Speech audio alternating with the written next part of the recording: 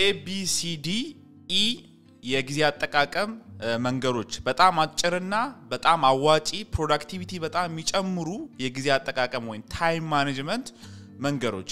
A ላይ የምናስቀምጠው ብዙ ጊዜ በጣም ከባድና በጣም መጨረስ ያለብን ነገር ካላደረግነው ጉዳቱ በጣም ሰፊ የሆነ ነገር ህይወታችን እዛ ላይ depend የሚያደርገውን ነገር ትልቁን ነገር ወይም በጣም ማሳካት የምንፈልገውን ነገር A ውስጥ እናስቀምጣለን።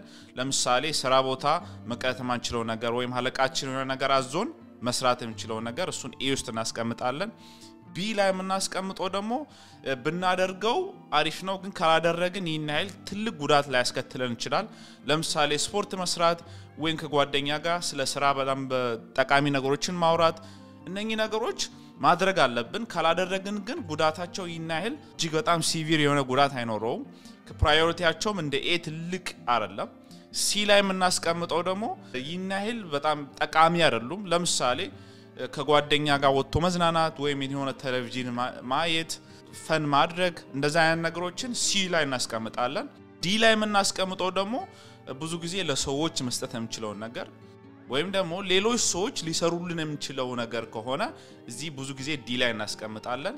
E ላይ የምናስቀምጠው ነገር ምንድን ነው? ብዙ ጊዜ የምናጠፋቸው task ኦች ወይም to-do list ኦች ማለት ነው። E ላይ የምናስቀምጠው ነገር ማንፈልገው አላስፈላጊ የሆነ ነገር ከሆነ እናስቀምጣለን E ላይ። እነኚህ ABCD time management መንገዶች እጅግ በጣም አዋጭና productivity በጣም የሚጨምሩ proven የሆኑ way ኦች ናቸው። መርሳት የሌለብን አንድ ነገር ግን እነኝን ሁሌ መጻፍ አለብን፣ በየቀኑ መጻፍ አለብን። ሌላኛው ደግሞ ዋናው መርሳት የሌለብን ነገር A ን ሳንጨርስ ወደ B መሄድ የለብንም። በጣም ከባዱን ወይም ጠቃሚውን ነገር ገና ጠዋት ተነስተን እንደሰራን እሱን ሳንጨርስ አንዳንድ ሰዎች ግማሽ ላይ አድርገው ምናምን ነገር ሳይጨርሱ ወደ B የሚሸጋገሩ ሰዎች አሉ። B ን ሳይጨርሱ ደግሞ ወደ C የሚሄዱ ሰዎች አሉ። ያ effective አይደለም፣ በጣም ሊጎዳን ይችላል።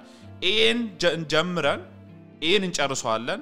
A ን ጨረስን ወደ B እንሄዳለን። ከ B በኋላ C ያልን እንቀጥላለን ማለት ነው። ይህ በጣም ጠቃሚ ነው። እነኚህ የ ABCDE time management technique ናቸው። ተጠቀሙት። እጅግ በጣም ጠቃሚና efficient ናቸው። እኔም ተጠቅሜዋለሁ። በጣም ጠቅሞኛል። ለእኔ productivity ን በጣም ጨምሯል። እዚህ ላይ አመሰግናለሁ። ቀጣይ ቪዲዮ እንገናኛለን።